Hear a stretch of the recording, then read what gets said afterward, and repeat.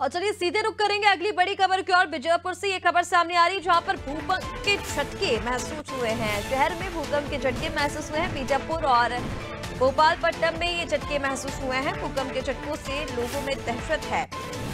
दहशत में लोग हैं और घरों से बाहर निकल कर आ गए हैं। बीजापुर में ये शहर में भूकंप के झटके महसूस हुए हैं। बीजापुर और भोपाल अ, पट्टनम में ये महसूस हुए हैं भूकंप के झटके भूकंप के झटकों से लोगों में दहशत का माहौल बीजापुर और भोपाल पट्टनम के लोगों में बन गया है और लोग डर के कारण घरों से बाहर निकल आए हैं।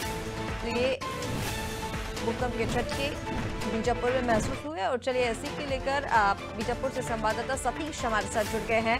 सतीश क्या कुछ जानकारी है? भूकंप को लेकर कितना सेंटर में ये जो भूकंप है वो रहा है और लोगों में अभी क्या कुछ प्रतिक्रिया देखने को मिल रही हैं? जी, मैं बता दूँ कि बीजापुर में ये पहली बार ऐसा हुआ है कि भूकंप के झटके देखने को मिले हैं।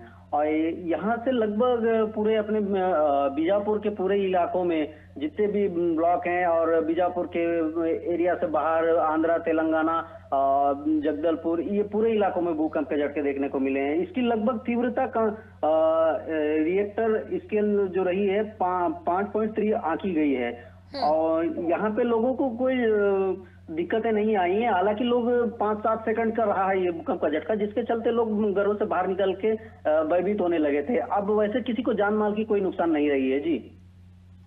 बिल्कुल सतीश इस तरह से आपने जानकारी दी। देखिए जैसा आपने बताया कि वहाँ पर जान माल का कोई नुकसान तो नहीं हुआ है लेकिन भूकंप के झटके वहाँ पर महसूस हुए हैं। जैसा आपने कहा कि पहली बार ऐसा हुआ है बीजापुर में। अभी इसको लेकर कोई प्रतिक्रिया अधिकारियों की ओर से सामने आई है क्या इस तरह के अपडेट आगे के लिए भी कोई अलर्ट जारी किया गया हो?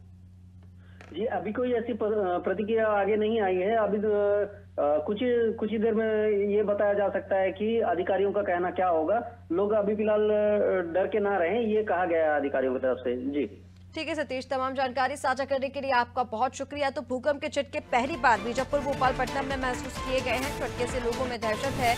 लोग घरों से बाहर निकल आए हैं और जो उसकी तीव्रता है रिक्टर स्केल पर पाँच दशमलव तीन आंकी गई है।